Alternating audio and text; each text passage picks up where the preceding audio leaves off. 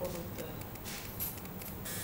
the brass things while the cabins mm. occupied with missionaries. In the triangular trade, ships carried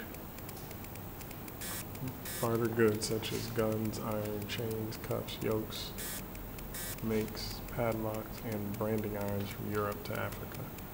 According to tradition, ships sailed for Africa with holds full of idols and matalos, brass bracelets, while the cabins were occupied by missionaries, an edifying example of material good in competition with the immaterial one. Eric Williams, Capitalism and Slavery, 1944. The same ships carried slaves from Africa to the Caribbean and the USA, and sugar, rice, and cotton from the USA to Europe, an immensely profitable triangular trade route.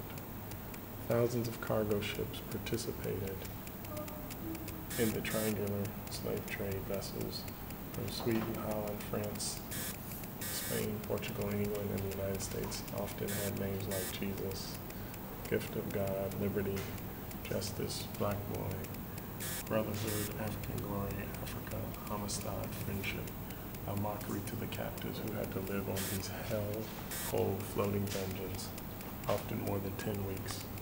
Up to 30% perish on the high seas.